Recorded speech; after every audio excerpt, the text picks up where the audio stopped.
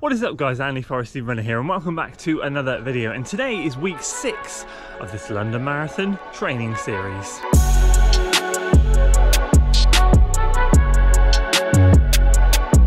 So I'm throwing you straight into the thick of the action and uh, I'm going to explain everything when I'm done.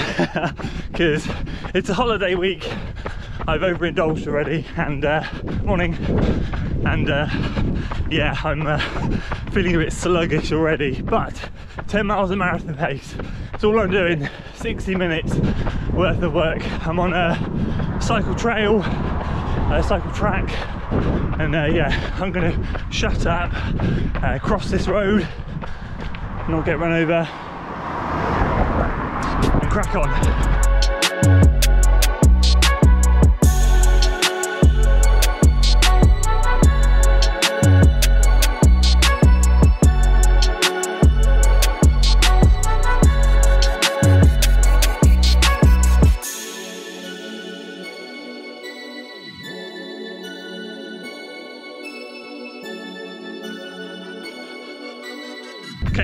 five miles out and five miles back.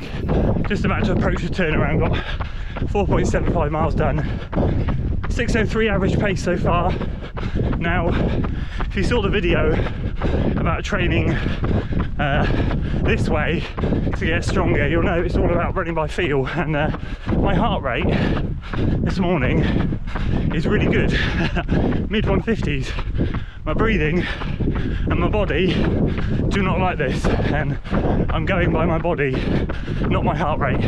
Uh, obviously I'm on holiday. Mileage is down. I've overindulged. I've drank I've eaten. So I'm going to be a bit sluggish. This is a little bit of an injector into the holiday just as a reminder as to what I'm training for. So yeah gonna get wrap this mile up turn around head back the other way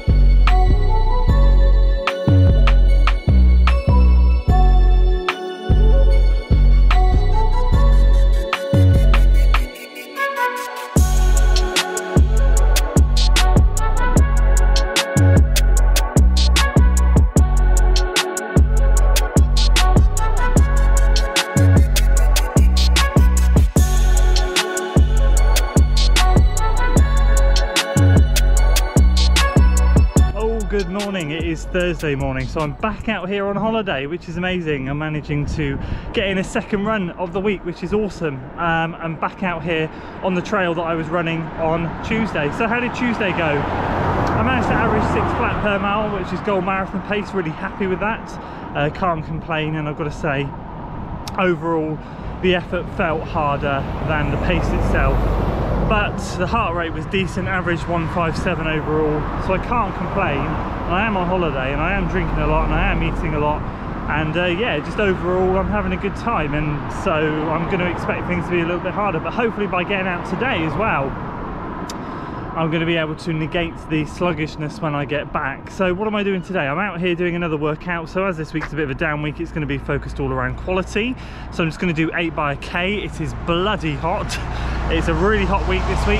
As of today, Friday, Saturday and Sunday, we're going to be hitting mid 30s, which I think is nearly 100. Uh, right now in the morning it's 8 o'clock and it's already 21 degrees. I'm sweating buckets and uh, basically I haven't got too long so I can't go and find the most ultimate place to do it which is about another mile out so there's a beautiful flat road on this trail but I am going to run out to it so I'm going to do 4k reps out 4k reps back which means number two and number seven are going to be quite slow because I've got to run through the middle of a town and dodge traffic. There's no pavement. So I'm not going to do anything stupid there. They might be really slow. But other than that I'm going to give these a good go. Hopefully not melt hopefully not wilt. And uh, yeah see how we get on. It is crazy hot. So uh, yeah wish me luck. Let's see what we can do on these ones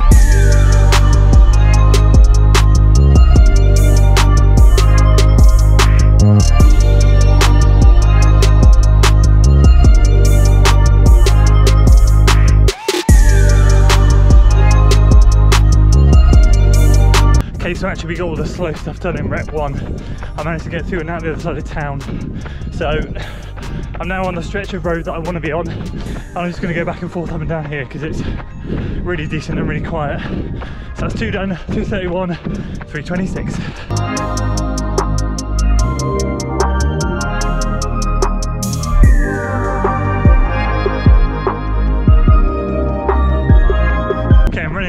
By a killer clown.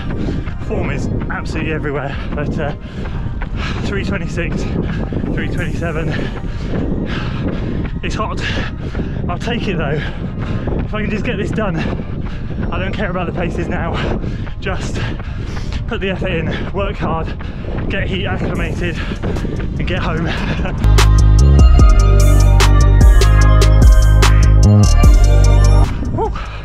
326 and 326 for reps 5 and 6 so one more back along this road and then one more back through town. So hopefully one more solid rep and then the last one will be what it will be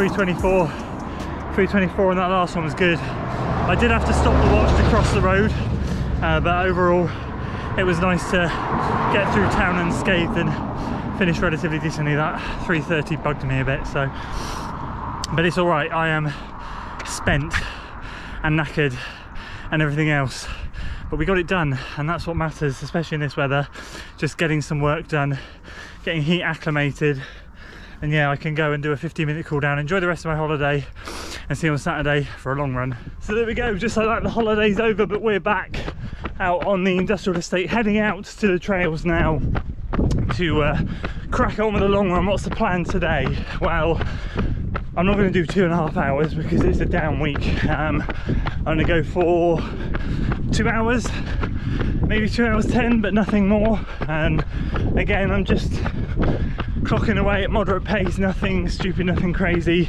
I feel really good actually, uh, and I think I'm going to be again reiterate. I was grateful I was able to get out twice last week just to uh, stop the sluggishness. Did my stretches and everything last night after a horrific journey home uh, in 35 degree heat, which it is again today and tomorrow. We have a heat wave. Love it. I love it. I love it. I love it. So, yeah, just uh, out here getting it done. Came back to an epic SAYSKY uh, kit drop, which I'm so grateful for SAYSKY for sending it to me. Uh, this is probably my second favourite drop they've sent me so far. It is wonderful kit, so yeah, do check them out if, uh, if you get a chance. But I'm just starting the long run. I'm only just coming up to two miles in, so I'll touch base with you shortly and uh, keep you up to date with a couple of things.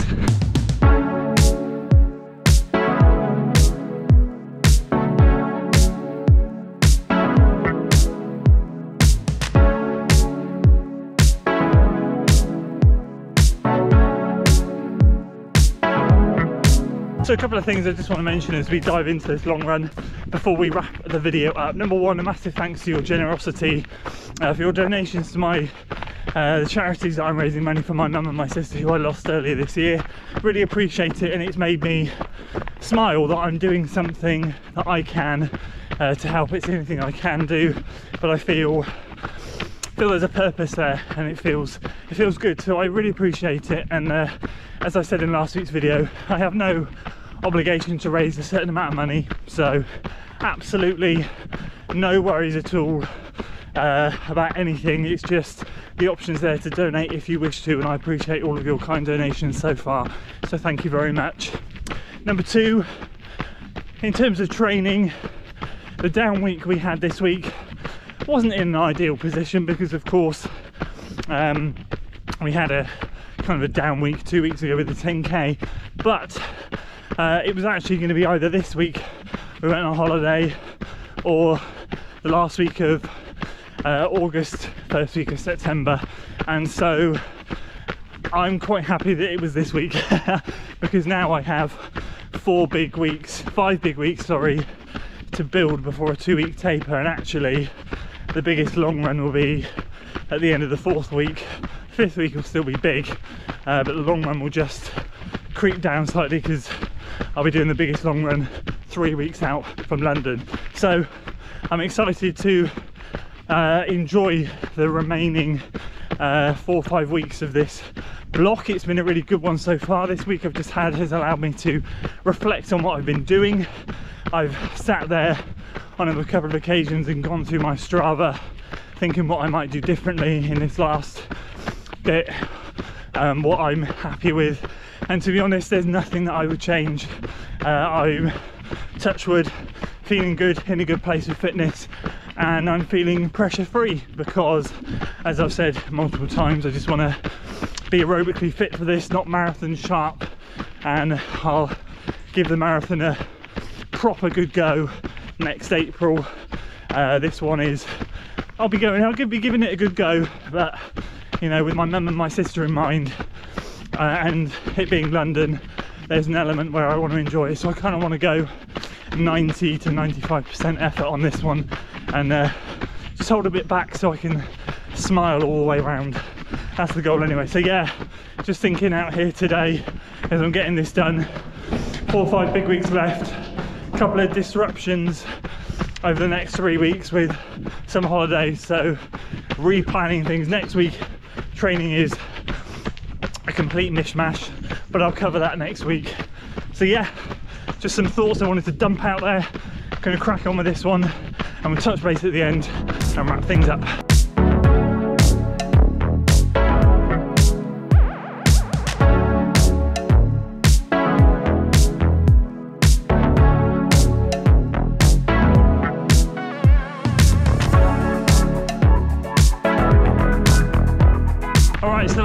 it up here. I'm about, well, I've just gone over 12 miles into this. Um, I think the GPS is a bit messed up.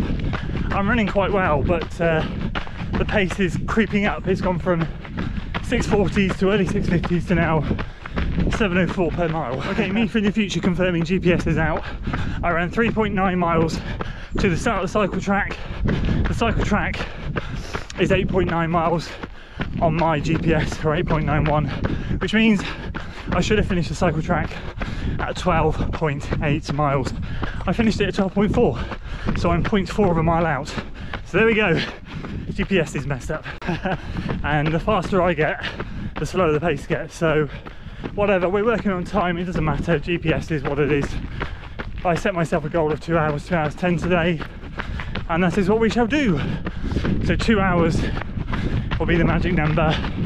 I am starting to flag a bit a lot of alcohol consumption last week so I think uh, that's all coming out. But I have to say I don't think I've ever come back off holiday and run two hours. So I feel like this week I've just done has set me up in a good way. I don't feel like I've regressed as such. I feel like this week might be a bit rusty but I'm not going to feel like I've regressed which is fantastic so I'll put the final stats on the screen today for the run.